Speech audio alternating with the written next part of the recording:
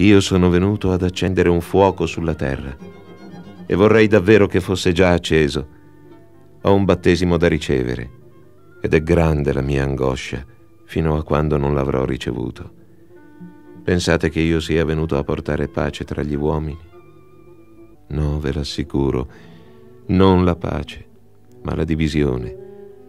D'ora in poi, se in una famiglia ci sono cinque persone, si divideranno fino a mettersi tre contro gli altri due e due contro gli altri tre, il padre contro il figlio e il figlio contro il padre, la madre contro la figlia e la figlia contro la madre, la suocera contro la nuora e la nuora contro la suocera.